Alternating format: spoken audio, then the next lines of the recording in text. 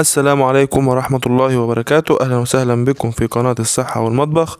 النهاردة معانا فيديو جديد عن أسباب عدم نزول الدورة الشهرية بعد الدوفاستون بحسب ما أشارت إليه العديد من الدراسات العلمية إن أبرز أسباب عدم نزول الدورة بعد الدوفاستون هو الحمل.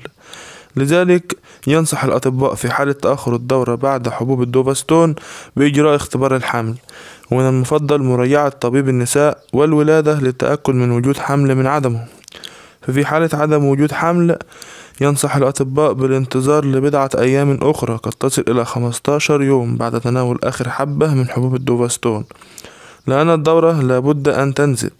فإذا لم تنزل الدورة الشهرية بعد 15 يوم يجب مراجعة الطبيب المختص لفحص الحالة الصحية للرحم ومعرفة هل توجد مشاكل صحية في الرحم وما هو السبب الرئيسي لعدم نزول الدورة بعد الدوفاستون في نهاية الفيديو ياريت تدعمونا ب like و comment وتشاركوا الفيديو مع أصدقائكم وانتظروا مننا كل جديد في قناتكم قناة الصحة والمطبخ.